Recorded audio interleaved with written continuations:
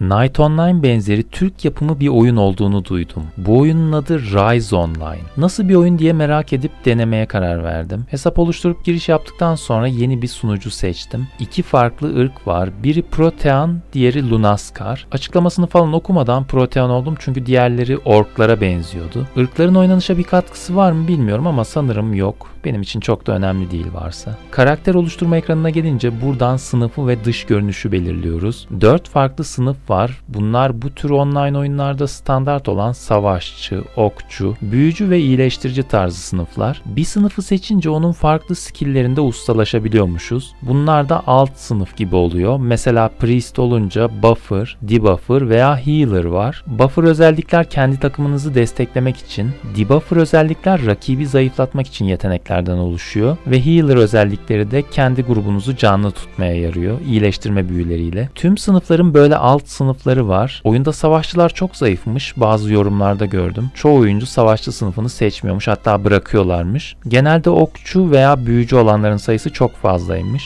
Böyle bir dengesizlik olması kötü bence ama neyse. Sınıf seçtikten sonra karakterin saçını, başını, rengini ayarlayıp oyuna başladım. Bu tür oyunları çok oynayan biri değilim ama bundan önce oynadığım oyunların kontrolleri biraz daha akıcı ve rahattı sanki. Bunlar düzeltilebilir diye düşünüyorum. İlk başta kamera hep böyle kalacak sanıp korkmuştum. Fakat mouse'un sağ tuşuyla kamera ayarlanıyormuş. Etrafı biraz keşfetmek için dolaşmaya başladım. Klasik bu tarz online oyunlarda olan özellikleri oyuna eklemişler. Hatta bazı yorumlarda oyunun Night Online kopyası olduğunu söyleyip eleştirenleri görmüştüm. O konuda yorum yapamayacağım çünkü Night Online'ı 2 saat falan oynamıştım. Kopyalasınlar ne olacak? Yani firma tabii ki önceden denenmiş ve tutmuş mekanikleri oyuna ekleyip başarı şansını arttırmak isteyebilir. Sadece birebir kopyalamasından rahatsız olmuş bazı oyuncular. Haritaya bakınca bana biraz küçük geldi ama bunun dışında ırklar özel haritalar, farm haritaları ve PvP haritaları varmış. Bunların da level sınırı vardır kesin yoksa oralara gidip size göstermek isterdim. Oyunun geçtiği dünyanın adı da Arvat. Neyse kaleden dışarı çıkıp böyle yarı çıplak koşturmaya başladım. Görevler alıp yaptım biraz. Level atlayıp yeni skillleri görmek istedim. Sonra zırhçıdan paramın yettiği kadar kıyafetler aldım. Meğer bir NPC bu kıyafetleri görev yapınca bize veriyormuş. O kadar parayı boşa harcadım. WSAD ile hareket edebiliyoruz veya karakter mouse'la seçtiğimiz yere kendisi gidiyor. Birden 9'a kadar skillleri kısa yollara atayabiliyoruz. Düşman ya da dost olsun birisini mouse'la seçince bu kısa yol tuşlarıyla yetenekleri kolayca kullanıyoruz. Yerde oturan birini görünce bir derdin mi var diye sordum ama cevap vermedi. Binek hayvanlar varmış oyunda. Yanımdan bir tanesi iki ayaklı deve gibi bir şeyle geçince fark ettim. Etrafta toplayabileceğimiz kaynaklar da var. Çünkü oyunda geniş bir toplayıcılık ve crafting sistemi varmış. Ağaç kesme, madencilik, kazı yapma, balıkçılık, çiftçilik ya da bitki toplama gibi şeyler ve daha fazlası da var. Bazı yerlerde toplamaya çalıştım ama olmadı. Sanırım bunlara bir level sınırı getirmişler. Çok saçma değil mi? Ot toplamak istiyorum ama level'ım yetmiyor. Acaba kazı yapıp hazine bulabiliyor muyuz? Olsa ne güzel olurdu. Değerli eşya falan çıkıyor böyle. Güzel fikir yani. Meslekler de varmış oyunda. Mesela terzilikten tutun, marangozluk, aşçılık, demircilik gibi bir sürü alanda uzmanlaşabiliyoruz. Oyunda böyle bir ticaret sistemi varsa, herkes bir şeyler üretip birbirine satabiliyorsa çok güzel olur. Yani bu sistem nasıl işliyor onu da bilmiyorum. Oyunda krallıklar olduğu için kral da seçiliyormuş. Bu bayağı hoşuma gitti. Yani oyuncular arasında oylama yapılıyormuş ve en çok oy alan kişi kral oluyormuş. Baktım bizim ülkenin kralı Osman Bey'miş. Rakip ülkenin kralı da Leonidas diye biri. Kimse o artık. Bizim kral kesin onu döver. Böyle kelle uçurma, idam etme falan yoktur inşallah. Adamların krallığına gidince beni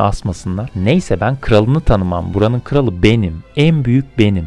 Biraz oynayınca anladım ki oyunda en büyük ihtiyaç takım halinde oynamakmış. Görev yapmaktan yorulmuş, bir başına otururken kendi takımımı kurmaya karar verdim. Sonra yanı başımda onu gördüm. Yarı çıplak bir kadın. Çıplak bir kadın üşütme sakın.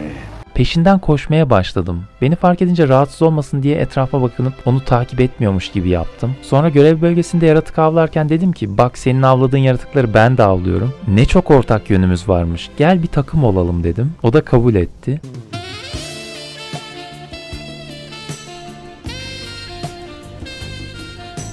Zaten böyle açıkça konuşup cesur olmak lazım. Ben bir kızdan numarasını isterken de öyle isterim. Numaranı versene ararım diyorum. Sanki numarayla başka bir şey yapılacakmış gibi ama olsun. Takım olunca bayağı rahat yaratık kesip görev yapmaya başladık. Bazı yaratıklar düşük seviye olsalar da tek büyüyle ölmüyorlardı. Kaçıp tekrardan dönüp vurmakta bayağı zaman kaybettiriyordu. Yani bu tür oyunlarda takım kurmadan oynamak hem sıkıcı hem de zor oluyor. Oyunun amacı zaten beraber savaşmak. Bu eleman da kız değilmiş, erkekmiş. Biraz sohbet edince adını söyledi. Oyunu oynamış benden iyi biliyormuş. Bazı şeyleri sordum yardımcı oldu sağ olsun. Meğer envanterde bineğimiz varmış. Seçince kullanmaya başladım ve her yere hızlı gidebildik. Gruba bir kişi daha aldım. 3 kişi olunca çok daha rahat görev yapmaya başladık. Bu tür oyunları çok zaman ayırmadığım için oynamıyorum. Oynayanlara da neyini seviyorsunuz diye sorduğumda en çok karakter geliştirip PvP yani gerçek oyunculara karşı savaşlar keyifli oluyor yanıtını aldım. Benzer bazı oyunlarda kale savaşları veya klan savaşları falan oluyor. Hem rekabetçi oynamayı seviyor insanlar hem de karakter güçlendirmekten keyif alıyorlar. Benim karakterim şu kadar level deyip hava atanlar falan oluyor. Rise Online ile ilgili olumsuz yorum da çok gördüm. Oyunun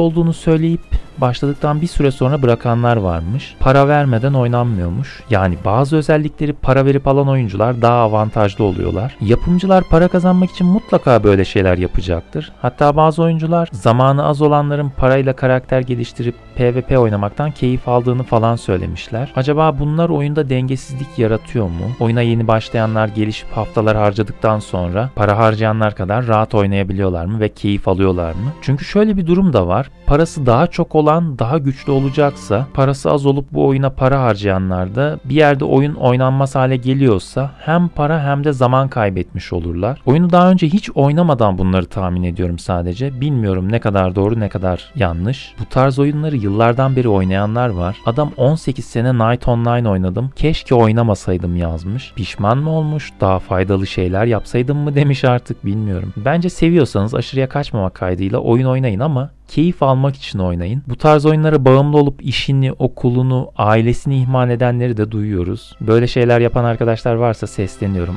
Aman arkadaşlar oyun oynayın ama hayatı kaçırmayın. Rise Online dikkatimi çektiği için bu videoda size kısaca deneyimlerimi anlatmak istedim. İnternet sitesinde oynadıkça kazandıran oyun yazıyordu. Bir çeşit token yani piyasaya henüz çıkmamış proje halindeki bir coin kazandırıyormuş. Eski Night Online'cılara soruyorum. Oynamaya değer mi yoksa zaman kaybı mı? Siz ne düşünüyorsunuz diyerek videoyu sonlandırıyorum.